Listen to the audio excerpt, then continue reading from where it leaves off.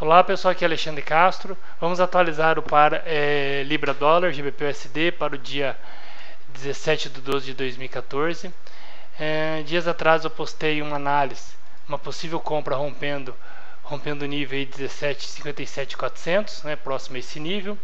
É, mas no dia de ontem o preço fez um, um movimento contrário, ele fez um recuo aí é, repique até 61%, um suporte de Fibonacci, essa retração, deixando candles aí de rejeição nesse nível, possibilitando aí, através da análise do gráfico diário, é, candles de força na ponta compradora, né, com expectativa desse rompimento, possibilitando aí entradas né, em períodos menores nesse nível, nessa zona é, de interesse que é 61%. Okay?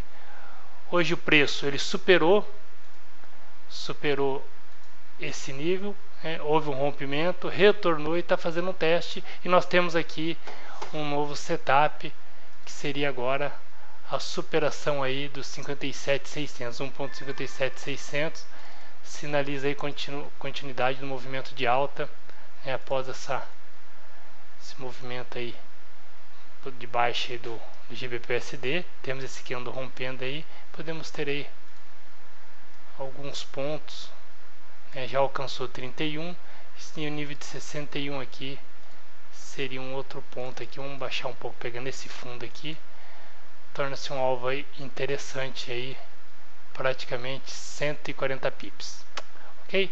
Vamos acompanhar então a movimentação GBP USD para o dia 17 do 12.